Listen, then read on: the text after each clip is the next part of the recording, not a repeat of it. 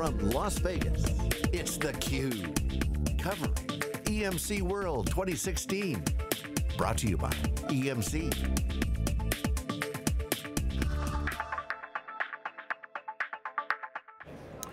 And welcome back here on theCUBE as we continue our coverage from EMC World 2016 inside the Sands Expo here in beautiful Las Vegas, Nevada. With us is a, a long time uh, and a familiar face uh, here on theCUBE, Jack Rondoni. Jack, good to see you. Vice President of Storage Networking at Brocade. I'm along with Stu Miniman here as well. Uh, first off, before we get get into, you know, flash is the word here, Jack, this week, obviously, but uh, you're feeling on the show, the vibe, um, just what's been your two-day take so far? Yeah, I know it's a good vibe. It's a good vibe. It's good to see, uh, you know, the the the Dell insertion and all this, and and how that's been received very positively.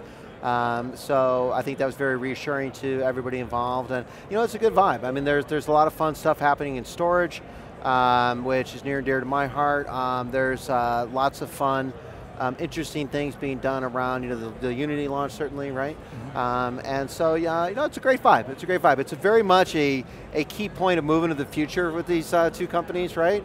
And, uh, you know, we're excited about that because we've had great partnerships with both EMC and Dell over the years, and we're looking forward to leveraging that in the future. Well, I mentioned uh, the outset of, you know, Flash has been kind of one of the hot topics here. Sure. Um, I'm going to let you pat yourself on the back here in, yeah. in just a bit. I mean, uh, this was almost like the Babe Ruth moment. You called that shot a I few did. years ago. Why don't you go ahead and play it back uh, yeah, for us? Let's was, go back three years. It was June 10th uh, of 13th uh, on this show, right? I think Stu was there.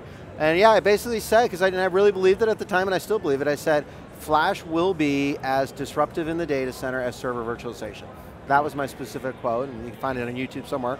um, and it's true. I mean, it's just flat out true, right? And, and I knew that before I had, you know, coming here, um, because every customer I go to, if they don't already have a massive amount of flash in their environment, they have plans to move their entire environment to all flash, right?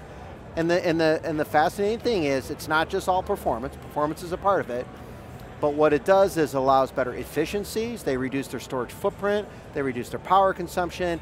It's just one of those few obvious value propositions that sticks right. in IT. There's a lot of them that have been talked about that kind of don't make it or they become a buzzword bingo, uh, but this one is it, right? And, um, and I, I, felt that way back in uh, three years ago, and we've aligned a lot of our, almost the, the, vast majority of our roadmap and our features and our capabilities towards that trend, and uh, we're going to build on that in the future. So we're very excited about it. We're very excited about this transition to all flash, because of what it means to our customers. And what does it mean? So going forward then, yeah. yeah what does the trend mean to their requirements and what they're going to be needing? Yeah, so, so a couple of things. Um, and, and I'm not going to start with performance, I'll end with performance. One is, you know, the network definitely needs to have the right um, kind of instrumentation built into it, meaning that if you think about a fabric, you have a bunch of sensors, you have a bunch of telemetry into it, um, you know, when you start running these very, very high speed performance devices, ensuring you have that end-to-end -end flow information, um, working um, and, and instrumented, that you're even measuring it's very important. And so what we always go say, if you're going to go and upgrade the net or upgrade your, your device to all flash, you got to upgrade the network, right? So that's one of the requirements. Um, automation built into it, right? You're getting efficiencies of this. You don't want to spend time on the network. I can't tell you how many customers have gone, Jack, the last thing I want to do is spend any time on your network. It should just plug in and work. We spent a lot of time on automation, um, and then obviously we spent time on performance. Right. So you, big announcement uh, with uh, uh, Gen 6, yeah. Uh, flash channel switch that you've launched. What, you know, new and improved, right? It's always new and improved. Why, how new and how improved? I mean, sure. what distinguishes it from the product you had before? Right, so we launched our Gen 6 uh, fiber channel switch with EMC on uh, April 11th of this year. Um, so what's new is the instrumentation. It's got a lot of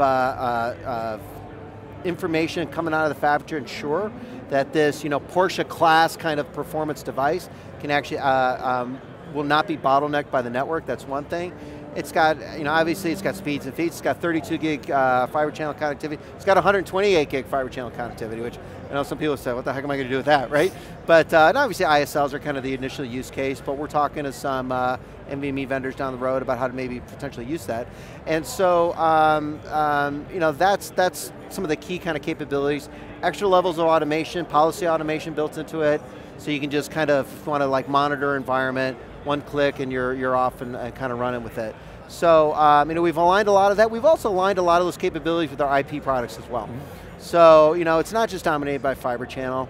Uh, I mean, XtremIO's got uh, IP interfaces. We have a lot of customers that saying, hey, I want this performance, and I want my Ethernet network to perform like that as well.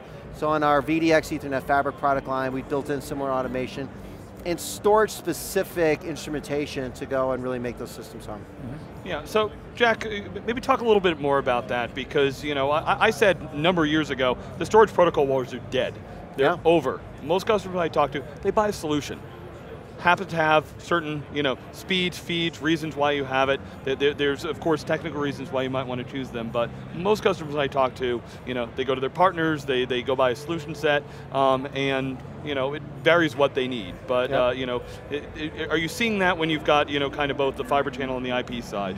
Absolutely, Stu, I could not agree with you more. Yeah. Any conversation that is, well, what about IP versus FC? Wrong conversation wrong conversation. In fact, most customers are not having that conversation. It's not an either or, it's a both. And then in, in the end, it's going to be, well, what's the workload? You know, traditional workloads, a lot of them are built on fiber channel, they're going to stay around for some time, so you got to deal with fiber channel. Um, a lot of the new, you know, platform three type of workloads are built only on IP, so you're going to only talk about IP. Um, so that conversation is clearly a both conversation, and that's why Brocade's investing in both protocols for the foreseeable future, right? Mm -hmm. So, so uh, fiber channel has obviously been such a driver, you know, in yep. terms of innovation and, and storage. Um, why do you think Gen 6 is, is going to be the home run? I mean, what, what's going to be, I guess, uh, the secret sauce there that, that's really going to vault it to the kind of prominence that I'm getting from you that you feel is yeah. ahead of it? So a couple things. One is, you know, those capabilities around instrumentation performance that, that I, I talked about, right? It's just, it's unparalleled, right? Which is, by the way, why, you know, according to Gartner and some other analysts, you get a higher attach rate actually with fiber channel on the all flash than you've had on the on the um, uh, hybrid arrays typically, right? You know, the other thing too is, you know, we're we're looking towards the future to make sure all of that plumbing work that we're doing and instrumentation work is going to be ready for NVMe over fabrics, mm -hmm. right? And actually, I'm going to go out on a limb right now and say, three or four years from now, NVMe is going to be about as disruptive to the data center right. as all flash was. So we'll see if that plays out. Um, but um, I certainly believe that because performance just, just it creates opportunities. It, it's, and, and so what we're doing with our fabrics to make sure it's plumb for that future. We've demonstrated the ability to go do that over fiber channel today. We're working on our ethernet products as they sort out some of the standards issues to make sure that that works as well. But the phenomenal performance, you're going to be a microsecond you know, kind of response times, right? And um, I think that's going to be a phenomenal transition as well, and we want to be a part of that. We want to make sure our fabrics, our data slash memory fabrics, right, are optimized for that. And by the way, and it'll still run your legacy workloads. Mm -hmm. right? So you don't have to go and shut off your 3,000 applications that are running your business. You can go and you can move that forward then as basically as your uh, business dictates. Yeah, so Jack, there's two ends of the spectrum I want you to give us a little bit of understanding as to how kind sure. of NVMe and maybe fiber channel fit in. On one, you know, you talked about super low latency. We're seeing architectures like EMC's DSSD that's you know pulling everything super close to the compute. Where Correct. today I really don't have much of a network. It's internal.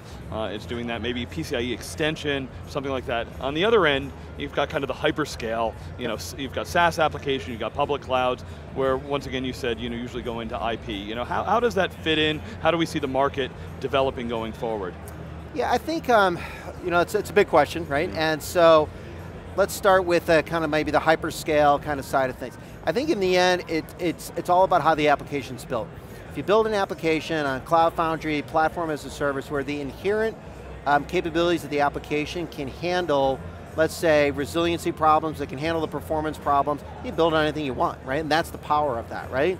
And, but that's going to take a long time to kind of go get there, right? And once you can go get there, then you don't need the you know thousand engineers to make that stuff run perfectly, right? So I think that's kind of where that goes long term. And then I think on the you know NVMe front PCI Express, that performance, you know, certainly anytime you run anything in a DAS kind of way, which is essentially as soon as you run a PCI Express, it's kind of like that, um, you're going to get the phenomenal performance, right? But I will say this, at some point, when you're in tens of petabytes, right, of storage, you're going to want to share it at some level, right? You're going to want to centralize it at some level, the management costs eat you up, right? Unless you can do some other things, inject it to the cloud or something else like that, right? And I think, you know, when I look at our fabrics in particular, let's just start with the Fiber Channel fabric, you know, our, our measured latencies are in hundreds of nanoseconds, right? One switch chip, it jumps at 700 nanoseconds. So even through an entire directory, you're talking 2.1 microseconds. So that's some pretty dang good performance, mm -hmm. even if you go end to end across the fabric. Yes, you'll always get it better if you're hanging right off the bus, but constructing that kind of fabric is a heck of a lot easier to try to construct a real fabric out of PCI Express. That's really an embedded, in my opinion, at least an embedded kind of uh, uh, bus structure. So, and Ethernet's going to be the same thing, right? You got RDMA over Ethernet, you got iWarp, they're going to jam the latencies out of these things, and I think the benefits, you know, of then how I can manage it in a centralized way, I think in the end will probably win over at large scale. You, you touched on this at the beginning of the, uh, the interview, but I'd like to go just a little bit deeper about the relationship with EMC and uh, yeah. I mean, your thoughts about, especially going forward, you know, yeah. because uh, there are going to be a, a, few changes here and there, obviously. Oh no, they, uh, yeah. But but how would you characterize it then, the partnership? So I would I would characterize the partnership as it's never been stronger. We've never been doing more things with EMC in our history. You know, Stu and I were talking earlier about you know the early days of fiber channel switching and stuff, and of course that business continues to run and continues to run well. But we have IP storage switches. We have solutions with VxRail. We have solutions in, in a number, a number of different areas. We got Poxco with, with ScaleIO. So the partnership has never been broader, and I think when we look at then the, um, the, the merger here coming with Dell, it's, um, to us we look at it as a tremendous opportunity mm -hmm. because you know, beyond the technology, one thing our CEO always likes to say is, Brocade knows how to partner better than anybody. Mm -hmm. Right? And I really do believe that. We've not been a, a, partner with EMC for 17 years if we were not a good partner. And guess what? There's lots of divorces that happen in the industry, right? So any marriage that's been hanging around uh, for 17 years, that's something special, right? And by the way, we have a tremendous relationship with Dell as well. A tremendous relationship. So we look at it as an opportunity to, to strengthen it as those two become one, mm -hmm. to mm-hmm. build upon our partnership, and we're very, very excited about it. All right, well, so, great, great track record. Yeah, Jack, if just bring us on home. You know, EMC World tends to be the biggest event of the year for Brocade. As you said, very long uh, yeah. history. You know, what's the Brocade presence? Sessions, parties, events. You know, how many people you guys have here? Uh, any cool giveaways? Uh, Can we get invited? You know, you know all, all, those things. all those details. so um, yeah, we always bring you know our, our best worldwide here. We got representatives from Europe, China, um, all of our of our field people, because all of our best customers come here, right to Stu's point. Um, as far as cool stuff on the floor, and by the way, you walk in and what do you see? You know, you see Brocade right there. We got some fantastic kind of demonstration. Some of our analytics capabilities. Come by and see our, our analytics monitoring platform. It really will show you some, some insights into the data fabric you've never seen before. We're very excited about that. Um, the giveaways are so many, honestly, you know, we don't have enough time to go through them all, right? right. But go to the booth, check out what's there. We got our gurus there, we got our subject matter experts there. You'll be very excited about the solutions we have and how well they're aligned they are with EMC and Dell. You talk about giveaways, Stu. When I, I, walked by the Brocade booth about an hour ago, and I saw this line stretching all the way around the booth, I thought, well, must be free beer, free pizza, free something. Uh, Geoffrey Moore uh, signing Crossing the Chasm, yeah. and by far the most popular booth on the floor right now. Absolutely, so, uh, yeah. and, and was that just like a great call for what's going on here, right? Yeah. yeah. What what what uh, EMC's talking about modernizing the data center, and it's that kind of, you know, uh, um, just profound kind of thought, right, that I think really resonates. That's why you see that uh, that crowd all around the course. Yeah, we're very excited to have them here. Well, you called your shot three years ago. You called your shot today. We'll come back and we'll see, see. 2019 and three, see four how years. Let's see how three, four years goes, right? a lot of room there, which, is, which is, a good, good, thing. Jack, thank you for being once yeah, again with us my here pleasure, on the guys. Thank you. And we'll be back, uh, back with more. Some final thoughts actually coming up here from the Cube, and just a little bit from the Sands Expo here at EMC World 2016.